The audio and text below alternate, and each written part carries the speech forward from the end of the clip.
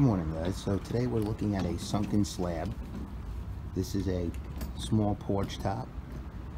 You've got two doors, one here and one is around the back over here. And the slab sunk. And you can see they didn't put any steel in here. If you could get a look. See there's block here and they didn't drill any rebar into it. They did nothing. So we're going to take the slab out, see what we have, fill it in with some base rock, and hopefully we'll be able to drill rebar into there, into the building, and into the block, and reinforce it with some wire. They should have put an expansion joint here as well. That's why you get that crack right over here. So we're going to bust it out and see what we have. Okay, so now that we have all the cement broken out, he's going to come over and drill in the rebar. Yeah, yeah, you can put one there. You can put one here, two, and then three over here. This good? Okay, yeah, that's good.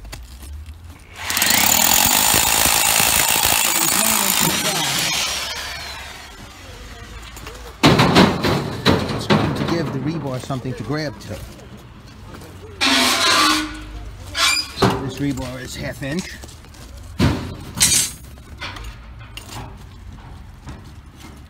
And we're not going to drill anything into here because this is just a brick facade with wood behind it. So we're not going to drill into that. Wire that down this way, you'll still get the same effect that it won't crack.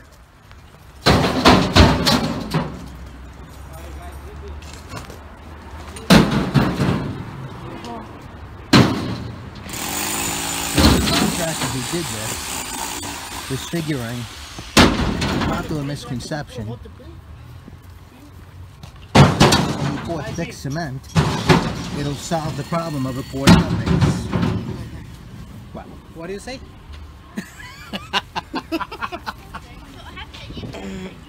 However, there's no amount of concrete that you can pour, no matter how thick, that will take effect for a poor subbase.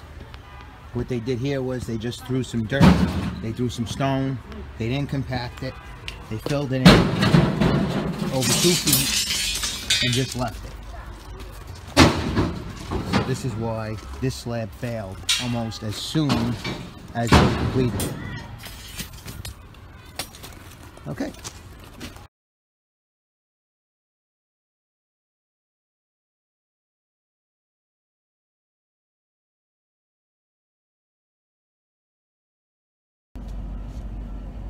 A lot of concrete contractors believe in the misconception that the more cement you pour, the better off that you'll be.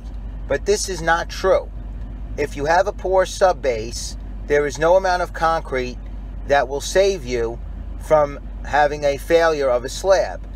Now, on this particular project, like I showed you, they poured concrete from 6 inches to 8 inches thick on a very poor subbase. Now, while you can applaud them for pouring the concrete thick and putting wire in it, which I applaud them for the wire at least, at least they tried a little bit, but nothing will make up for a poor subbase if you don't do any compaction and you fill it in with dirt. Now, they filled it in with dirt and then threw a little bit of stone on top and poured six to eight inches of cement with wire.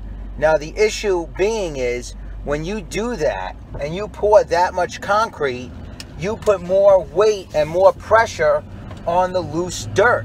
So now you're not only on loose material that's not compacted properly, you're now putting extra weight that's not even necessary on the uncompacted fill.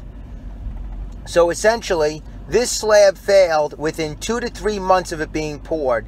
This is the third time I've been to the site. I've been to the site twice before to look at it. The first time I went there, it was only about a half inch below the limestone. It had only sunken a little bit. And basically, when the people closed on the building, and the built my customer as well, they were in the hope that it wouldn't get any worse. Um, over this past winter, it sunk more. I went back to the site and we had a very lengthy conversation about what to do about it. And a couple of suggestions that were made were why can't we just pour self-leveling cement and then use a Top 'N Bond cement to bring it to the right height. Well, the problem is with those Top 'N Bond products is number one, they don't really last that long. So guaranteeing the longevity of the product is just not there. And second of all, you're not solving the problem of the sub base being poor and continuing to settle. So you can put more weight on the dirt and all you're going to do is push it down even further if you add cement on top of it. And the uh, there is a building next door done the exact same way with the slab in a state of failure. And that's that slab is actually worse than this one is. But I guess the people are not changing it for whatever reason I don't know it's it's not my concern or not my my place to talk about it. So I'm just doing what I'm told. So what we're going to do is now we've filled in the voids with the broken cement and small pieces of, and stone and we drilled rebar into the block and we're going to put the wire mesh and we're going to pour a four inch slab which is more than acceptable for a porch top. The only time we ever pour concrete thicker is in a driveway or where a car or a truck may go. Uh, four inches with the wire is more than acceptable in New York City. First of all, four inches is the code and it's more than acceptable with uh, the weather conditions that we face. We don't get those extreme, extreme cold winters where you're going to get a severe amount of cracking if you don't pour thicker than four inches. Well, guys, I hope that um, this helped you, and we will be back tomorrow morning to pour, so I'll try to get some filming of that for you and um, how we're going to put the wire mesh in.